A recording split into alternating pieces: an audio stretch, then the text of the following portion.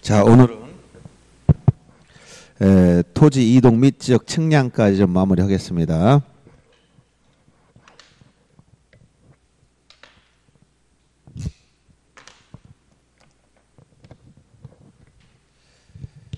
에, 여러분들 그 어, 요약지 에?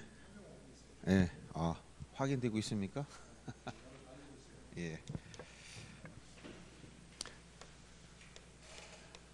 자, 토지 이동이라고 했을 때 이 개념부터 아주 중요합니다. 개념 용어정에서 나왔듯이 토지 이동이란 뭐라고 했어요? 토지 이동이란 토지의 표시를 토지 표시 이거 몇 가지가 있다 했죠? 이거 여섯 가지 소재, 지번, 지목, 경계, 좌표, 면적 이 여섯 가지를 어떻게 한다고 이것을 새로 이정하거나 변경하거나 말소한다 이렇게 세 가지 개념으로 언급해야 되고 요 토지 표시가 아닌 토지 표시가 아닌 즉 소재, 지번, 지목, 경계, 좌표, 면적 이 여섯 가지 아닌 것 대표적으로 어, 토지 등급이라든가 개별 공시지가라든가 소유자라든가 소유자 주소 변경 이런 것들은 토지 이동 개념에 포함될 수가 없다. 이 기본 개념을 이해하셔야 되겠고요.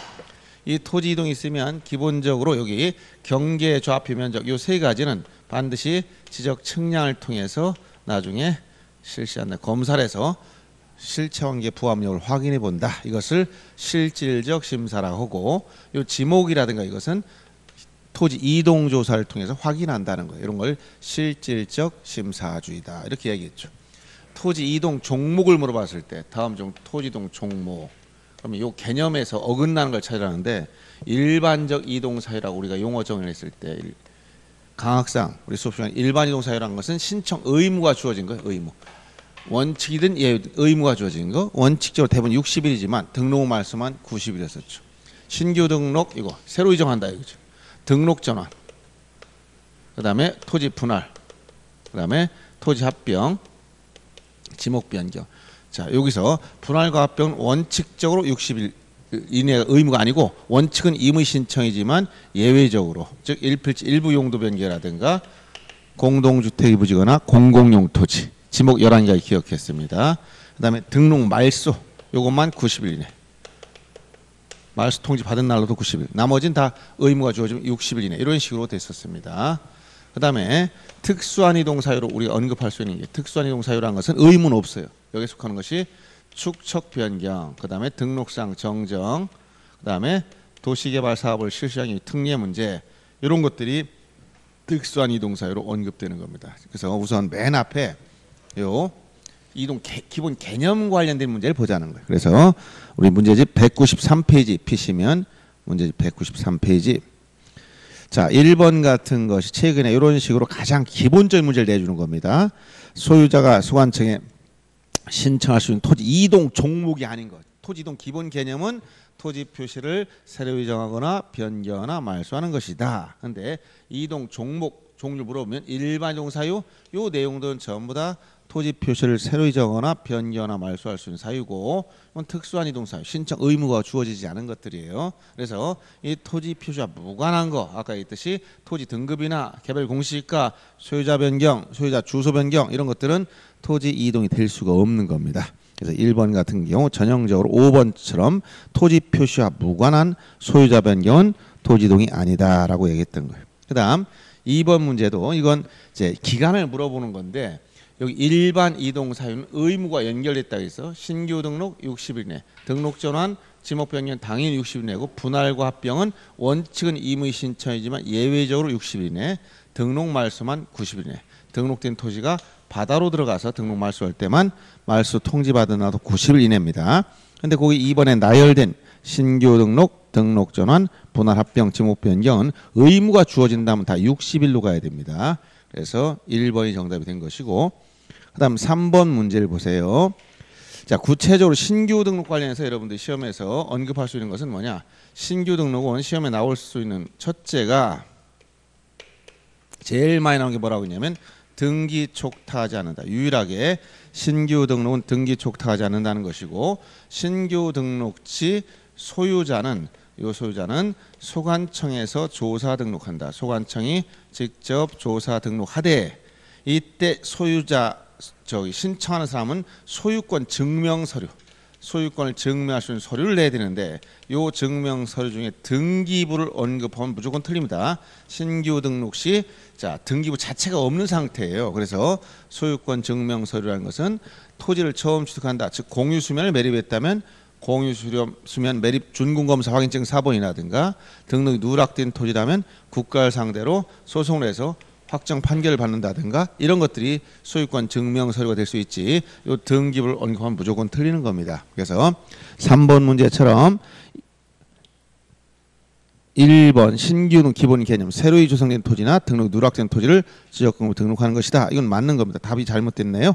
3번 답은 이제 곧 정정하시면 되겠습니다. 2번 신규 등록할 토지가 있을 때 60인에 신청해야 되며 거짓 여기 일반 용사유에서 의무가 주어졌을 때 의무를 위반해도 과태료는 없습니다. 위반해도 지금은 과태료는 없지만 거짓으로 신청은 모두 다 1년 이하의 징역이나 천만 원의 벌금형은 똑같아요. 이것은 같습니다.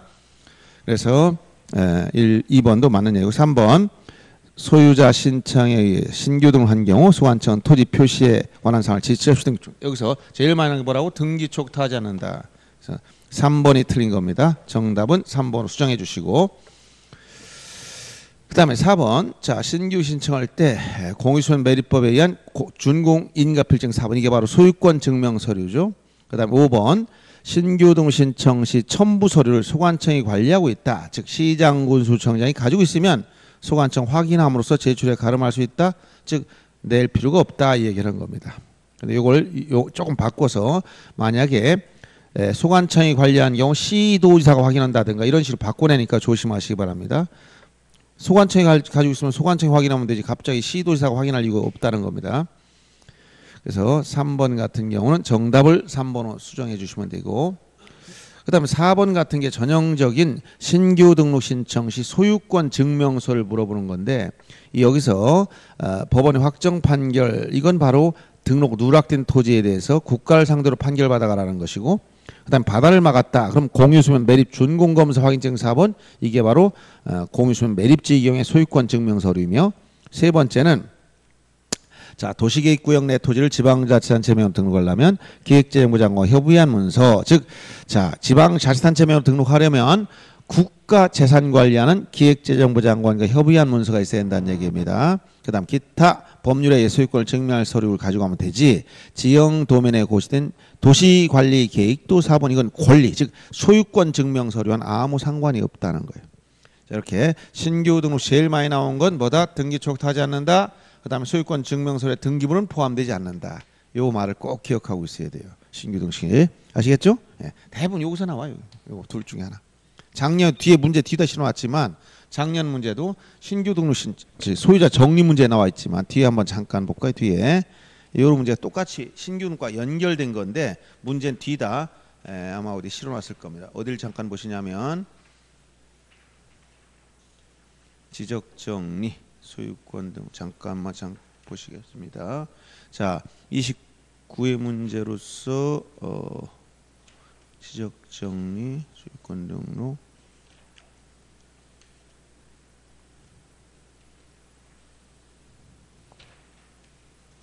음,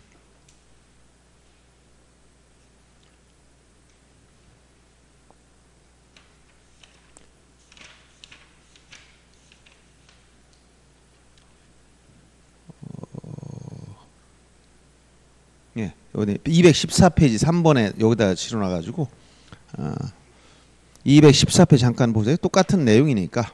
즉 소유자 정리라고 했지만 에, 214페이지에 3번 문제를 보세요. 어, 이따 다시 한번 하겠지만 3번에 3번 질문 봅니다. 자, 214페이지 3번에 3번 질문 봤죠? 아, 못 찾으세요? 214페이지. 이게 안 맞으면 다른 문제집을 또 가져오시는 분이 있을 수 있어. 214페이지 3번 질문 봤죠? 3번에 3번. 3번에 3번 질문 보세요. 뭐라고 써? 지적 공부에 신규 등록하는 토지 소유자에 관한 사항은 등기관서 등기한 걸 증명하는 등기필증, 등기완료 통서, 등기상 증명서, 등기 전산 정보 자료에 따라 정리한다. 신규 등록 시 뭐가 없다고 등기부 자체가 없어. 근데 이게 나올 수가 없지? 그러니까 이거 여기 소유권 증명서에 등기부를 어느 거 무조건 틀린다 했잖아. 그대로 이게 작년 문제. 손해도 이 등축 이거 이게 단골로 나오는 거예요. 그러니까 신경식 반드시 기억하셔야 됩니다. 자, 이렇게 알고 다시 앞으로 넘어. 그러면 요걸 보기 앞서 다시 한번 보세요. 여러분들 기본적인 거 우리가 이원적 공시 방법이라고 했을 때 시장구 운수청장, 소관청은 지적 공부 중 대표적으로 대장. 요 지적 공부에 토지 표시에 대한 뭘 등록한다고? 사실관계 그다음에 어떤 거? 소유자에 관한 사항 즉 권리관계를 먼저 선 등록한다. 이때 먼저 등록하려면 제일 먼저 등록하는 게 뭐라고? 신규 등록. 바다를 막아서 없던 땅이 생겼다. 그럼 최초로 게 신규 등록이에요 신규 등록할 때는 뭐가 없어 등기부가 없잖아 그러니까 최초로 토지 표시사항을 조사 측량해서 여기 먼저 등록을 해줘야 이제 이원적 공시 방법이란 것은 사법부 소속의 제일 말단기관 등기소에 가면 뭐가 있다 여기 등기부가 또 존재한다는 거예요. 등기부를 최초로 만드는 게 소유권 보조 등기 아닙니까? 그래서 여기 비해 사실관계, 갑권할 권리관계를 등기하는데 그래서 선 등록 후 등기 절차로 진행된다 했잖아. 그래서 요 등기할 때 최초라는 등기를 뭐라고 한다? 우리가 소유권 보존 등기, 소유권 보존 등기 하는데 등기법 조문에 65조에 가면 뭐라고 했어요? 보존 등기할 때 첫째 누가 보존 등기 신청한다 했지? 대장상 최초의 소유자로 등록되었음을 증명하는 자. 이게 누구야? 대장 처음 보면 소유자가 최초 등록된 자예요. 이 사람이 등기 신청하는 거예요. 그러면 요 대장에 등록된 요 토지 표시를 그대로 옮겨 등록하는 겁니다. 그러면 신규 등록신 뭐가 없는 상태라고 이게 없어. 소유권 증명서에서 뭐가 없다고 등기부가 존재할 수 없지. 무슨 얘기인지 알겠어요? 그리고 등기 촉탁이라는 건 뭐야? 사실관계 토지 표시를 대장과 등기부와 일치시키기 위해서 이 소관처에 등기를 신청해 주는 걸 등기 촉탁이라고 하는데 신규 등록신 일치할 등기부가 없어. 촉탁할 이유가 없다는 얘기 아시겠어요? 이 두 가지 원리를 이해하고 있으면 아무 할 것도 없고 당연한 얘기를 떠들고 있는 거예요. 근데 이런 원리를 모르면 아 이게 맞는지 틀린지 앞뒤를 구분 못 하는 거예요. 여러분들이 원리를 딱 배우고 나면 당연한 얘기를 한다니까. 그래서 요 당연하다고 느껴지면 공부가 된 것이고 당연하다고 느끼지 않으면 아직 공부가 안 됐다 얘기예요. 아시겠죠? 네. 자, 그다음에 두 번째 항목 등록 전환. 등록 전환도 개념이 중요하다 했지? 등록 전환 항상 개념이 뭐라고 했어요? 임야 대장 임야도에 등록된 토지를 토지 대장 등 지적도 옮겨 등록해야지고 반대로 표현하면 안 됩니다. 등록 전환 시는 첫째 산지관리법이나 건축법 등 관계 법령에 따라서 원칙적으로 지목 변경 물론 축적 변경도 수반된다. 이 수반되는 토지를 원칙으로 하는데 예외 지목 변경이 수반되지 않는 등록 전환 즉 지목 변경 없이 등록 전환되는 경우가 있다. 첫째 뭐라고 했어요? 대부분의 토지가 등록 에, 전환돼서 나머지 토지를 임야 대장 임야 대에 존치하는 것이 불합리한 경우 사실상 형질 변경됐으나 지목 변경할 수 없는 경우 도시관리계획선에 따라서 토지 분할할 때 이 세 가지 경우는 어떤 말이 나온다? 지목 변경 없이 지목 변경 없이 등록 전환된다. 즉 등록 전환은 되되 지목 변경을 수반하지 않는다 이런 얘기예요. 그리고 사무처리 규정에 의하면 소유자가 스스로 임야대장상 지목 신청 경우까지 포함된다 그랬어요. 그리고 등록 전환할 땐 전부 다 토지 표시를 새롭게 결정해야 되기 때문에 지역 측량, 등록 전환 측량을 통해서 어, 토지 표시를 새로 결정하며 측량 결과 면적 결정 시 5차 문제 자주 나오죠. 이때 5차가 허용 범위 이내일 때와 허용 범위를 초과할 때 어떻게 한다 했어? 허용 범위 이내일 때는 뭐라고 했죠 이거? 등록 전환될 면적을 등록 전환될 면적 이게 무슨 얘기예요? 등록 전환 결과 산출 측량 결과 산출한 면적 이것을 등록 전환 면적으로 결정을 한다. 등록 전환될 면적을 등록 전환 면적으로 결정을 하면 되고 그다음에 허용 오차범위 초과하면 임야 대장 임야를 어떻게 한다 했지? 직권 정정해라. 직권 정정 후 등록 전환시켜라. 그래서 요 등록 전환될 면적을 요걸 임야 대장상 면적 이런 식으로 바꿔서 많이 출제한단 말이에요. 그리고 여기를 직권 정정에 대해 신청한다 이런 식으로 만드는 거예요. 알았어요?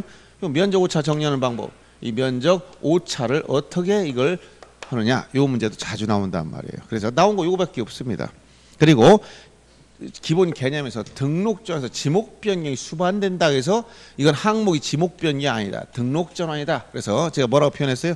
돼지를 잡으면 순대와 족발은 부산물로 나온다 했지? 그럼 그걸 돼지를 잡았다는 거지. 순대를 만들었다. 이걸 돼지 잡은 게 아니지. 그 부분적인 걸 얘기하지 말라는 거야. 즉 등록 전환이라는 토지동 종목 속에 지목 변경이 부산물로 생기는 것뿐이다라는 거예요. 그래서 이건 지목 변경 신청이 아니라 등록 전환 신청은 이건 당연한 것이다라는 얘기예요. 요걸 주의하셔야 됩니다. 그래서 가끔 이런 말을 해요. 등록 전환에서 지목 변경이 수반되니까 청려하지 않느냐? 전혀 다른 겁니다. 이건 지목 변경 관련이 없어. 등록 전환이므로 지목 변경이 수반되건 안 되건 반드시 등록 전환 측량을 실시해야 된다 이런 얘기예요. 알았어요? 이 표현을 이해하시라. 자 그러면 195페이지 5번 문제 보세요.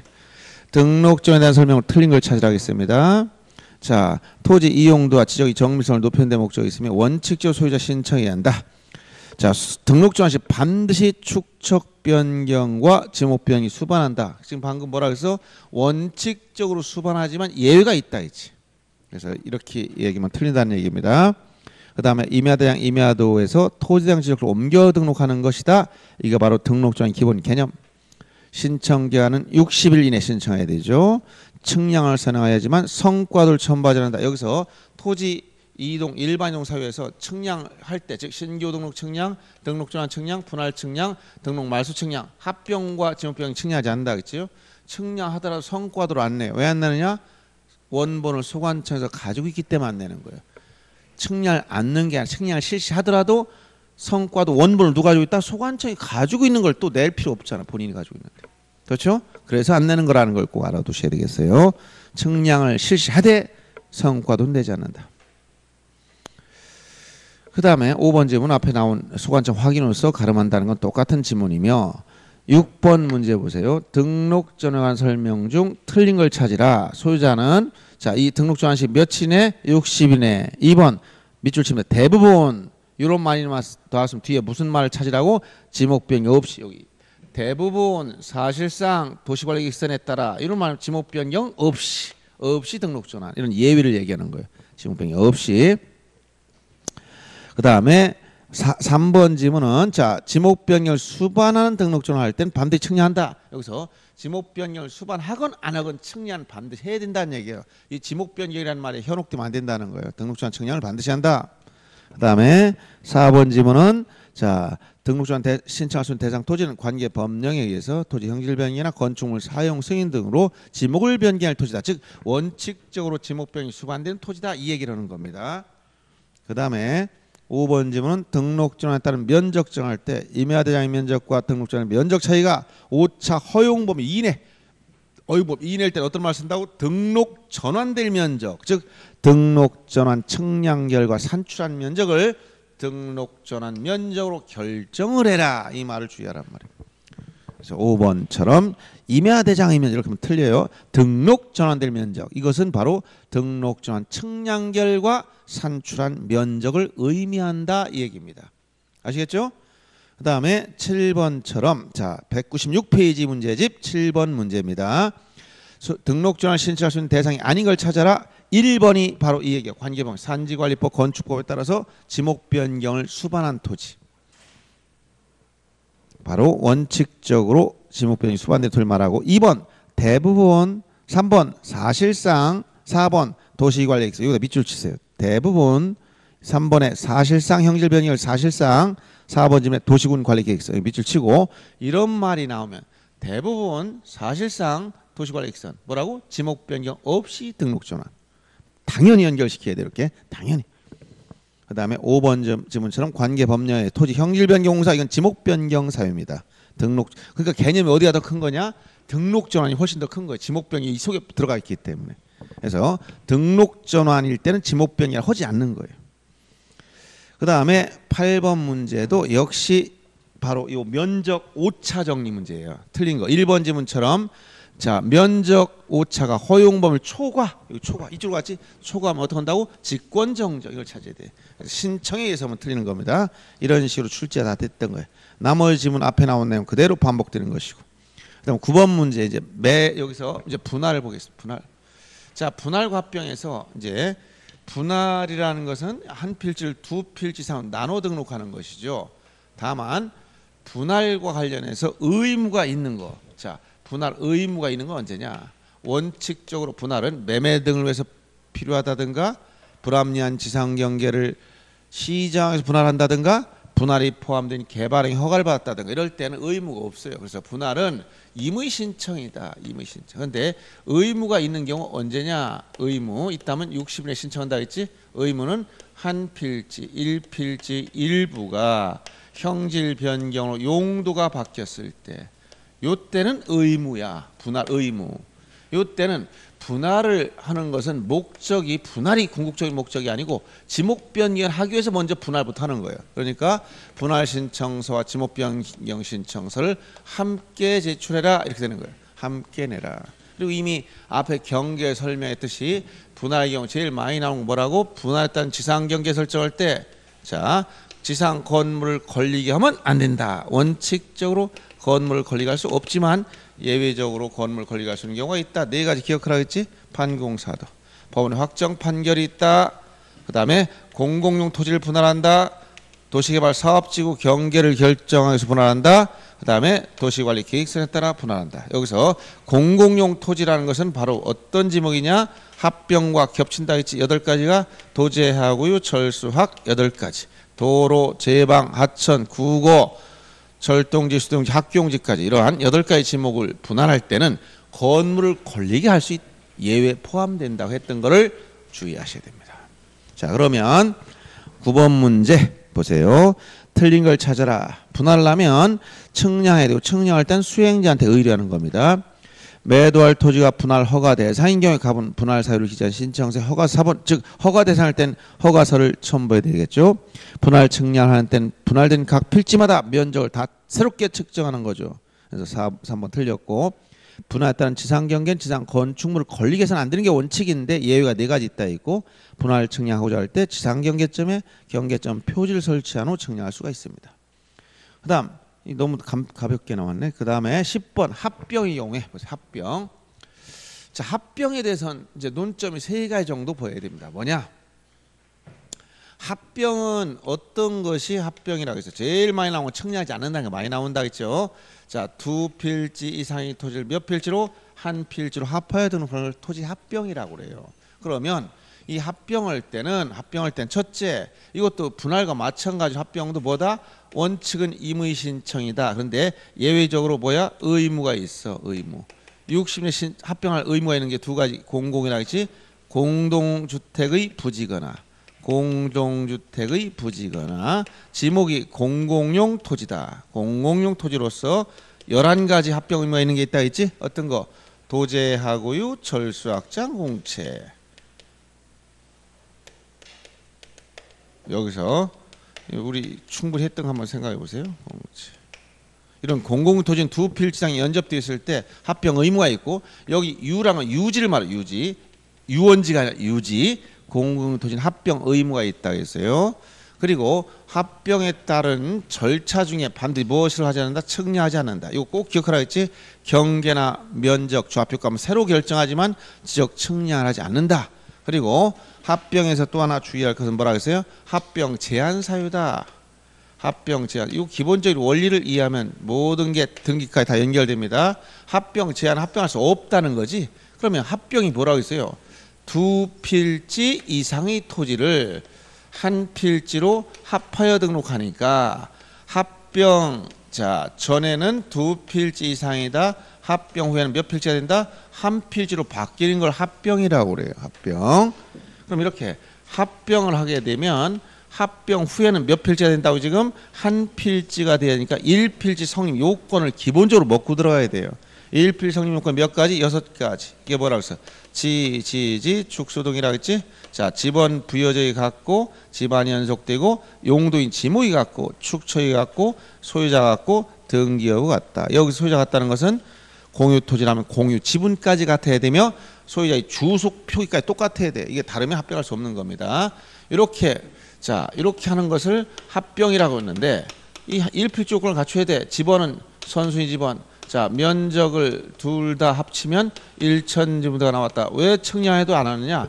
측량을 하지 않았지만 아는 이유는 합산 처리하고 필요 없는 걸 말할 수 있기 때문에 그런 거예요. 즉 합병 후에 토지 경계나 조합표 면적은 합번 합병적 10번지인데 합병 10번 이렇게 바뀌었지 경계 조합표 면적을 전부 다 새롭게 결정했을 때 지적 측량하지 않았다. 이걸 꼭 기억하고 합병의 제한 사유다 이 말을 쓰면 합병할 수 없는 사유를 물어본단 말이야. 그러면 첫째가 뭐야? 일필 조건을 갖지 못했거나 이 요건이 하나도 빠져 있거나 또는 어떤 거 여기서 한 점 더 나가서 권리 관계를 보자. 합병이 되는 권리 안 되는 권리가 있다. 합병이 되는 권리 뭐라 했지? 임창용, 임차권, 예외적으로 창설적 공동저당 용익물권. 용익물권이 뭐라 그랬어요? 지상권, 그 다음에 승역지 지역권 전세권 요 세 가지만 합병이 됩니다. 그리고 요걸 뺀 요 이외 요걸 뺀 일체의 권리가 있으면 합병할 수 없다라겠지. 임창용 이외의 등기가 있으면 합병할 수 없다. 아시겠죠?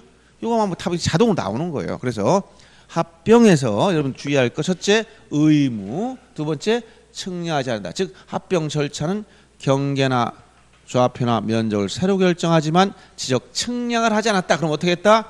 면적은 합병 전 각 필지 면적을 산술적으로 합산 처리했으며 경계나 좌표 면적은 필요 없게 된 분을 말소했다 이런 얘기예요. 그 다음에 합병의 제한 사유라는 것은 합병할 수 없는 사유, 즉 합병의 기본 개념이 두 필지 이상의 토지를 한 필지로 합하여 등록하다 보니까 합병 후에는 반드시 일필조건을 갖춰야 되는데 일필조건을 갖추지 못했거나 권리관계 중에서 임차권, 창설적 공동저당, 용익물권, 즉 지상권, 승역지, 지역권, 전세권 이거 이외의 권리가 있으면 합병할 수 없다겠죠. 요것은 부동산 일부의 성립이 가능한 권리 문제에서 다 설명했던 겁니다. 자, 그래서 이런 기본 내용을 중심으로 문제를 풀면 되겠어요. 10번 문제 봅니다. 198페이지.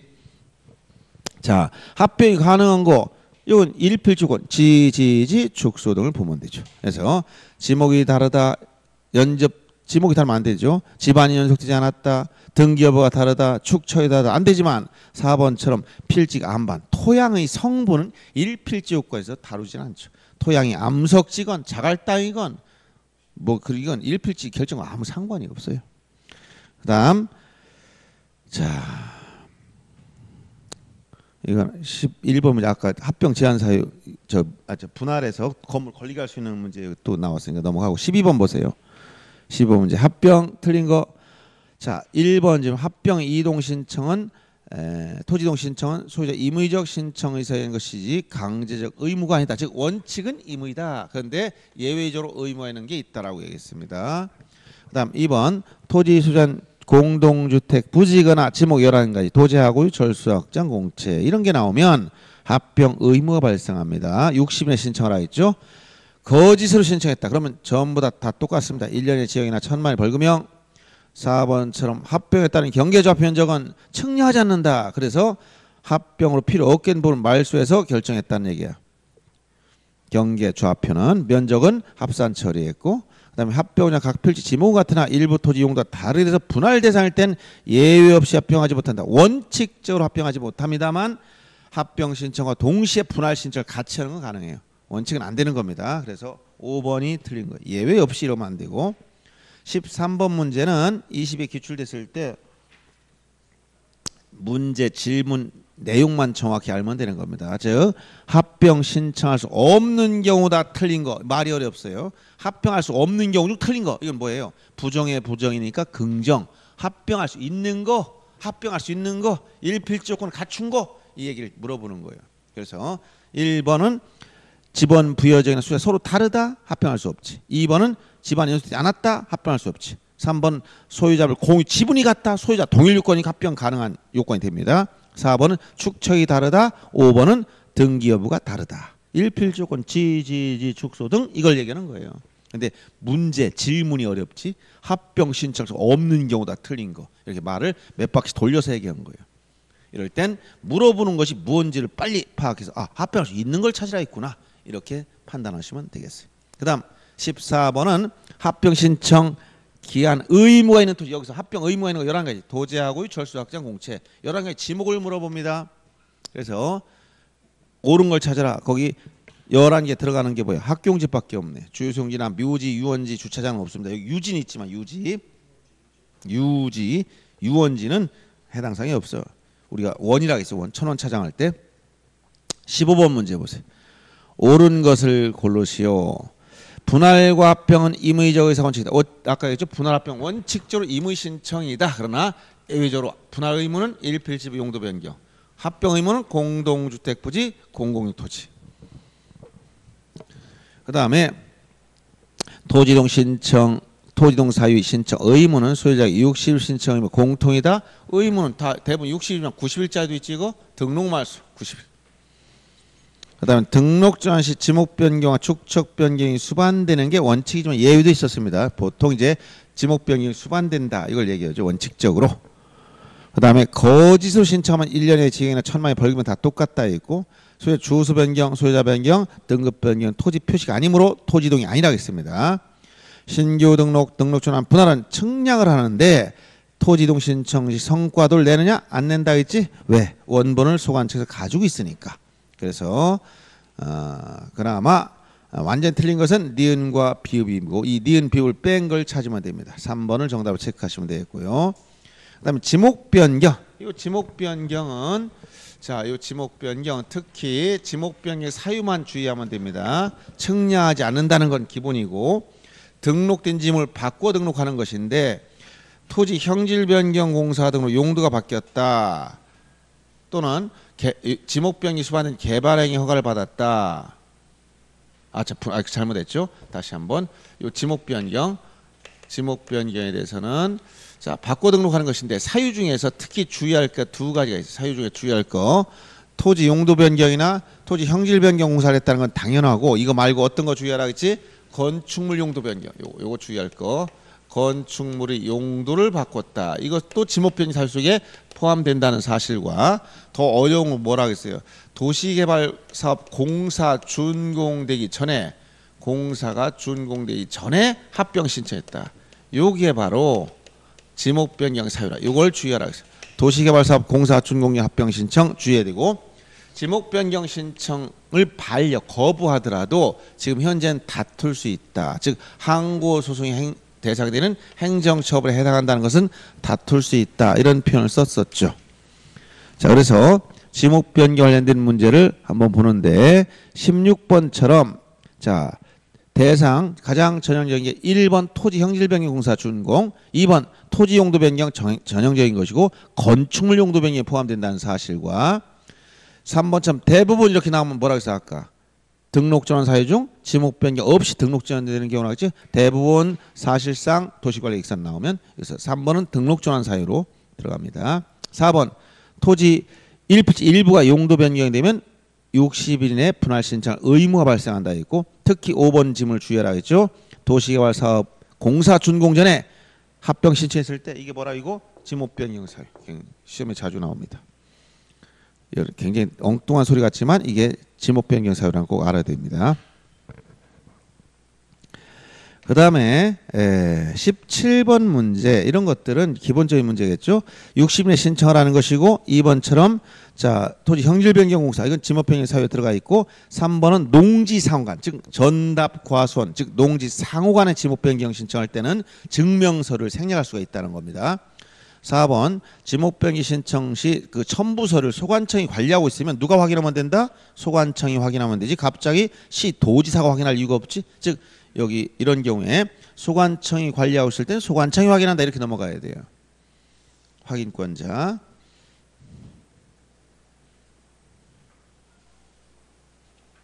자, 그다음에 아까 5번은 방금 지금 사회에서 말씀드린 것이고요. 그 다음에 이제 등록 말소에 관한 걸 한번 보겠습니다. 등록 말소. 자, 등록 말소에 대해서는 여기서 주의할 것은 등록 말소는 자, 첫째 등록된 토지가 어떻게 된다고 해서 등록된 토지가 어떻게 된다? 바다로. 바다. 뭐로 되면 안 돼? 하천부지로 되면 안 돼. 하천부지가 아니라 뭐 바다로 돼서 일시적으로 된 게 아니라 다시 원상복구할 수 없어야 돼. 이때 바다했으면 절차를 물어보면 등록 말소 절차는 첫째 자 제일 먼저 지역 소관청에서 뭐부터 한다? 말소 통지부터 해야 돼. 그러니까 말소 통지 절차 없이 직권 말소가 안 됩니다. 말소 통지해주면 소유자는 90일 이내 90일 이내 말소 신청할 의무를 부과. 말소 신청해야 돼. 의무가 있다는 거예요. 근데 요 90일 에 신청하지 아니하면 언제부터라 했어요 또 통지 받은 날로부터지 사유 발생일이 아니야. 통지 받은 날로부터지 사유 발생일이 아닙니다. 말소 신청해야 되고 만약 신청하지 않으면 직권으로 말소합니다. 직권으로 해서 직권 말소하도록 일체의 비용, 즉 측량 비용 이거 안 낸다겠죠. 그 다음에 직권 말소했으면 정리 결과를 소공 통지할지 토지 소유자 및 해당 공유 수면 관리청에 통지해줘라 모르기 때문에 알려주는 겁니다. 이렇게 등록 말소일자 꼭 기억하시고 일부가 바다로 들어갔을 땐 당연히 그 경계 좌표 면적을 새로 정해야 되니까 말소 측량을 실시해야 된다. 그리고 우연히 말소됐던 토지가 지형의 변화 등으로 다시 바다로 들어갔다 도, 다시 또 토지 돌아왔어. 그럼 뭐 할 수 있다? 회복 등록할 수 있다. 이걸 할 수 있다. 이런 규정만 있지 의무도 없고 90일 요건도 없다. 그러냐. 회복 등록에 대해서는 의무도 없고 90일 요건도 없다. 뭐만 등록 말소에 대해서만 의무가 있는 거야. 그리고 말소하거나 회복했을 땐 소공 통지는 똑같아요. 요거에 대해서 소유권이 어떻게 된다 이런 규정이 없어요. 규정이. 자, 그래서 등록 말소와 관련된 문제를 보겠습니다.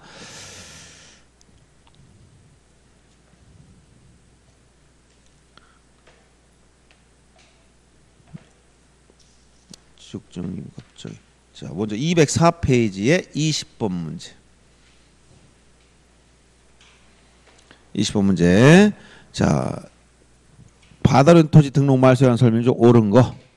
1번 지문처럼 야, 여러분들 이렇게 옳은 게 어려운 문제, 틀린 건 간단한 겁니다. 옳은 건 틀린 게 무엇인지 다 알아야 된단 말이에요. 소관청 지역 공부에 등록된 토지가 일시적인 지형이 변화 바다로 됐다. 일시적 지형 변환 등록 말소하지 않는다. 예를 들어서 오늘 해일이 일어나서 바닷물이 하루 동안 한 3일 동안 잠겼어. 그렇다고 말소한다는 거예요? 말이 안 되지. 그러니까 일시적인 건 등록 말소 대상이 아니라 다시 육지 돌아올 수 없어야 말소하는 거예요. 그다음에 2번 지문처럼 말소 신청을 받은 자가 통지 받은 날도 60일 이건 90일. 한 달 동안 술 먹는 기간 준다 했지? 90일. 말소 통지 받은 날도 90일. 그 다음에 3번 지문처럼 소관청이 직권을 말소할 때 시도 승인, 승인과 아무 상관이 없어. 직권 말소한다. 승인 절차는 전혀 관련이 없다 이건. 그 다음에 4번처럼 자 말소한 토지가 지역이 변화 등으로 다시 토지가 됐다면 그 지적 측량 성과만 말소 당시 지적 공부 등 관계 자료에 따라 회복 등록할 수 있다. 이런 규정만 할 수 있다. 의무도 없고 90일 요건도 없다 했어요. 5번 지문처럼 자 말소한 회복 등록했을 때는 시 도지사 행정안전부 장관에게 통보하는 게 아니고 소공 통지 소공이 뭐라 했지 토지 소유자 및 공유수면 관리청 토지 소유자 및 해당 공유수면 관리청 소공 통지 알았죠? 이렇게 절차 나올 수는 요밖에 없습니다. 첫째 바다로 돼야 된다는 거 하천부지 되면 지목 변경의 사유에 불과하고 일부가 바다로만 측량합니다. 절차는 첫째 통지를 하고 구신에 신청해야 되고 안 하면 직권 말소하고 이때 일체 비용 징수 안 한다는 거 결국 정기 결과를 소공 통지하며 또 말소했던 토지가 다시 바다로 들어갔다 말소했는데 우연히 또 토지 돌아왔어 회복 등록할 수 있다 의무도 없고 90일 요건도 없다 요 정도만 알면 되겠습니다. 요까지 하고 조금 쉬었다가 특수한 이동사회 보겠습니다.